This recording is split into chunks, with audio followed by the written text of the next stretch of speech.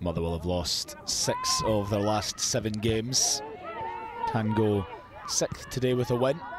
Pretty congested league table, heavily fancied against the United side that only have one point on the board this season.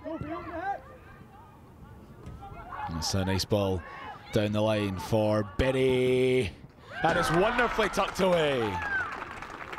Oh, she's enjoying herself this season, Laura Berry, on loan from Rangers. Number nine for the campaign.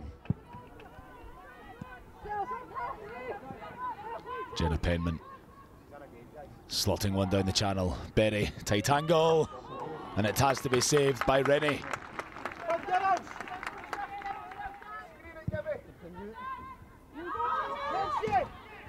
Down the line for Cowie, who could do with the arrival of a few teammates. One of them is Robertson, and it can't be kept out by much. Robertson brings United level. Really well controlled.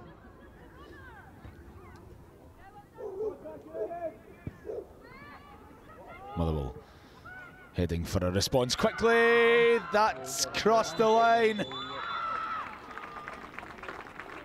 And it's Louisa Boyce getting her first of the season by the skin of her teeth.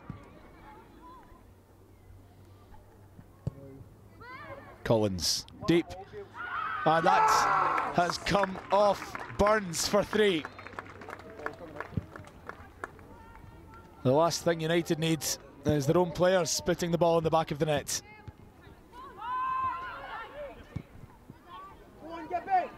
Oh, Sarah Gibb stopped in her tracks by Abby Cusack.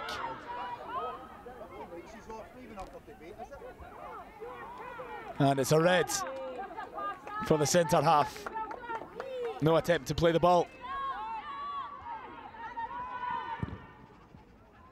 Motherwell coasting now, two up.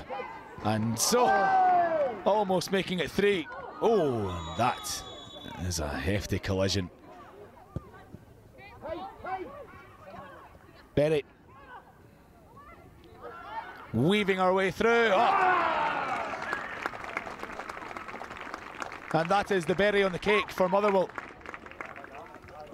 A fantastic individual and team performance. Delighted with the, the three points uh, and a strong three points for us today. I thought performance-wise we were very good. Uh, scored lots of, you know, four good goals and a, a good variation to our play today. we've scored a good goal. There's a game of us, some players to play out of position. So again, there, there is some positives, but we know that we're so much better than what we're showing at the moment.